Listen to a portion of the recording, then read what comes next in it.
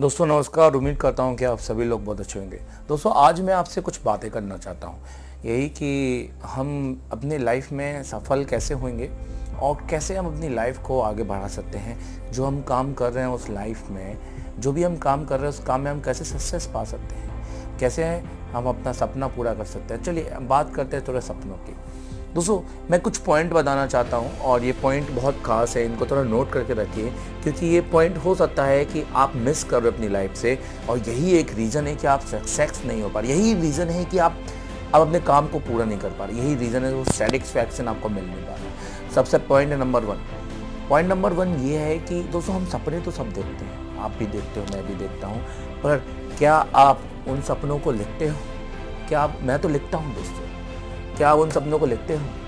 क्या आपने कभी लिखा है कि किसी दिन किसी डायरी में कि आपको एक बड़ा घर चाहिए, एक गाड़ी चाहिए, या आपको कुछ भी एक चीज़ चाहिए जो आपको, आपकी ज़रूरतमंद जो ज़रूरत की चीज़ है आपको, जो भी आपको एक बड़ा मोबाइल चाहिए या जो भी आपकी ज़रूरत की चीज़ है, बड़ा एक आईफोन चाहिए, नहीं दोस्तों, नहीं लिखा होगा। पता है रीज़न क्या है?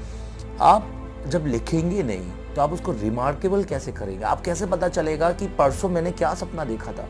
क्योंकि हर दिन तो आप नया सपना देखते हैं। आज आपको ये चाहिए, कल आपको वो चाहिए, नरसों आपको ये चाहिए। जब आप फोकस ही नहीं, सिर्फ़ सपने में भी फोकस नहीं है तो लाइफ में क्या फोकस होते हैं? सोचिए जरा। तो चलिए, अब बात करते हैं दूसरे पॉइंट की। आप कितने लोगों से अपने सपने के बारे में बात करते हैं? मेरे ख्याल से आप में से जो भी वीडियो देख रहा होगा, नब्बे परसेंट किसी से नहीं। हम डरते हैं मैं तो नहीं। आप डरते हैं किसी ना किसी से बात करने में। आपको लगता है कि यार मैं अपने सपने में पूछूँगा, मैं इसे बोलूँगा, यार, मुझे तो यार बी खरीदनी है ये, परसों, नरसों नरसों या कभी भी। यार तो मैं सोचूँगा कि मुझे वो बी खरीदनी है और अगर मैं इसको बोलूँ, कहीं मेरा मज़ाक ना हो। सो हम डरते हैं अपने मज़ाक ना उड़ाने का। हम डरते हैं कि कोई हम पे हंसे ना। हम डरते हैं कि कोई मेरा सपना चोरी ना कर ले। क्या डर है आपको? हाँ? मज़ाक उड़ाने दीजिए ना उनको थोड़ा सा। आप थोड़ा मौका दीजिए दुनिया को खुश होने का। मैं बोलता हूँ, बहुत कम लोग होते हैं जो दूसरों को खुश होने का, हंसने का मौका देते हैं। नहीं तो दुनिया लगी है लोगों को रुलाने में, सच बताऊँ। तो थोड़ा सा मज़ा लेने दीजिए। मैं बोलता हूँ, उन लोगों की खुशी में ही आपका सपने की जीत है। सो लोगों के साथ शेयर कीजिए विजुलाइज होगा। ये पॉइंट नंबर तीन है कि अपने सपने को विजुलाइज करना है, जीना है अपने सपने को। मैं बोलता हूँ, आठ घंटे मेहनत मेहनत तो बहुत ज़्यादा ज़रूरी है। नहीं तो आप बोलेंगे कि, सर, आपने तो बोले विजुलाइज करना है। तो इसका मतलब क्या होता है? बैठे बैठे बस मैं ये सोचता हूँ, यार, वो कार में घूम रहा हूँ, या वो परसों कार लेने जा नहीं, ये नहीं। इसका मतलब ये होता है कि जब आप आध घंटे मेहनत करके वो दो घंटे में खाना खा के बैठते हैं पाँच मिनट तो उस टाइम पे थोड़ी देर के लिए विजुलाइज कीजिए कि आप अपने सपने के एक कदम पास आ चुके हैं। वो तो कर सकते हैं ना आप लोग। सो आप देखेंगे कि आप अपने सपने के वाकई में कितने करीब आ जाएँगे। दोस्तों, जैसे कि मैंने बताया, पहला कि लिखा कीजिए सपना। लिखिए, किस डेट में आपको क्या चाहिए? ये नहीं कि परसों मुझे बीएमडब्ल्यू चाहिए। दोस्तों, दुनिया में हर चीज़ लॉजिकल होती है ना, वैसे भी सपना, आप ऐसा तो लिखेंगे नहीं कि मुझे शाम तक एक गोल्डन वॉच चाहिए। नहीं। तो मैं ये समझता हूँ कि हम लिखते हैं कि हाँ छः महीने के बाद, एक साल के बाद, डेढ़ साल के बाद मैं अपने आप को यहाँ देखूँगा। आप देखो, जिस दिन आप वो कॉपी उठाओगे ना, हो सकता है कि वो समय से पहले ही आप वहाँ पर हो जाओ। क्या ठीक। सो पहला पॉइंट ये बनता है कि आप अपने सपने को लिखिए। दूसरा पॉइंट ये बनता है कि आप बातें कीजिए उसके बारे में, लोगों से शेयर कीजिए ओढ़ने दीजिए अपना मज़ाक। तो एक बात ध्यान रखिए ना जिन जिन लोगों का मज़ाक हो रहा है लाइफ में, उन्हीं लोगों ने आसमान छुए हैं। तीसरा कि विजुलाइज करो सपने को। कभी एक दो सेकंड के लिए सोचो कि वो सपने के कितने करीब आ चुके हो। चौथा पॉइंट बनता है दोस्तों टाइमलाइन दो अपने सपने को। कोई भी अपने सपने को टाइम लाइन कभी देता ही नहीं है। सच बताऊँ, जैसे कि फॉर एग्ज़ाम्पल मैंने सपना देखा। सपना देख लिया हाँ भाई, ठीक है, मुझे डेढ़ साल बाद ये चाहिए। अब डेढ़ साल बाद ये चाहिए कब तक? भाई डेढ़ साल हो गए अब क्या? हो गया सपना ख़त्म? नहीं। जैसे कि हम पढ़ते हैं हम एग्ज़ाम के टाइम पे पढ़ते हैं तो आप आ, जो हमारे सेमेस्टर या जिस भी एग्ज़ाम की हमारी डेट होती है हम उस डेट को लेके पढ़ते हैं ना और जब वो डेट पास आने लगती है तो मेहनत भी तेज करने लगते हैं। वैसे ही जैसे आप अपना समय लिखिए और समय पास आने पर मेहनत को तेज कीजिए। अपने हर एक चीज़ को टाइमलाइन दीजिए डेट दीजिए कि इस सपने से लेकर, कि इस डेट से लेकर, उस डेट तक मुझे ये सपना पूरा करना ही है।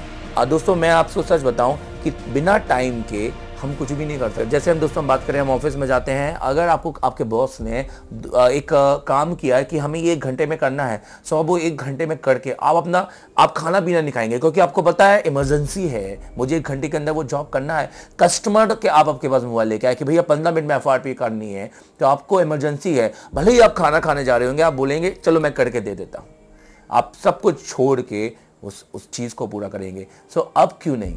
अगर ज़िंदगी में अपना हर काम इस तरीके से करना चालू कर दिया ना, कि अपने हर काम को, हर समय को इमरजेंसी बना लिया सो आप देखो कि दुनिया में आपको कोई नहीं रोक पाएगा अपना सपना पूरा करने से। सो अपना सपना पूरा करने के लिए जो मेन अब मैं आपको पांचवा पॉइंट बताता हूँ कि अपने आप को रिवॉर्ड दीजिए या अपने आप को पनिश कीजिए। रिवॉर्ड का मतलब ये होता है, जब कोई काम आप अच्छा कर लीजिए तो अपने आप को बेहतर समझिए, अपने आप को अच्छा मानिए, अपने आप को लोगों को बताइए कि आपने क्या काम अच्छे किए हैं। एहसास दिलाइए खुद को। जैसे हम दूसरों के लिए अच्छाई अच्छी अच्छी बातें करते हैं, अपने लिए भी अच्छी अच्छी बातें कीजिए। पर अगर जहाँ आपको लगता है कि आपने मिस्टेक की लाइफ में, जहाँ आपको लगता है कि आपने गलती की लाइफ में अपने आपको सजा भी दीजिए। सजा देना ज़रूरी है दोस्तों। अगर सजा नहीं देंगे तो वो गलतियाँ वापस होंगी। तो सजा भी दीजिए। मेरे पाँच पॉइंट नोट करके रखिए। अगर आपने इसको नोट किया, मुझे लगता है कि 80 परसेंट, नब्बे परसेंट लोग अपनी ज़िंदगी बदल देंगे। क्योंकि दोस्तों, जब तक सोचोगे नहीं, तब तक तो बदलोगे भी नहीं। सो पहला पॉइंट लिखो सपने. दूसरा पॉइंट बातें करो उसकी. तीसरा पॉइंट विजुलाइज करो चौथा पॉइंट टाइमलाइन दो सपने को कि हाँ मरी, ये डेट से लेकर उस डेट तक. और उस डेट के पास आने पर मेहनत को दुगनी कर दीजिए. और पांचवा पॉइंट अगर मैं कहूँ सो अपने आप को पनिश भी कीजिए तो रिवॉर्ड भी दीजिए. क्या आई होप कि आपको वीडियो अच्छा लगे और थोड़ा बहुत आपको सीखने को मिला हो. इसी आशा के साथ कि मेहनत करो दोस्तों. अगर आपको कुछ समय मिला है, कुछ लोग मिले हैं जो आपको आपकी ज़िंदगी बदल सकते हैं। अगर आप उन लोगों के साथ हो तो कम से कम उस दिन तो अपने आप को बदलो। तो उस दुनिया से बाहर निकल गया दोस्तों, जिसमें आप फंसे हुए हो, जिसमें आपको लगता है कि आपकी ज़िंदगी अब ना के बराबर है, ख़त्म है। मैं आपसे फिर से हाथ जोड़ के यही कहना चाहता हूँ, समझिए मेरी बात को। अगर आप कहीं जा रहे हैं कुछ सीखने, अगर आप कर रहे हैं कुछ काम तो मेरे भाई अपने सारे दुनिया के काम छोड़ के उस काम में जुट जाओ, क्योंकि आप पूरी दुनिया छोड़ के वहाँ आए हो और अब वहाँ रह कर भी अगर अपनी दुनिया से कनेक्टेड है तो मुझे नहीं लगता कि आप ज़िंदगी में कभी कोई काम कर पाएँगे।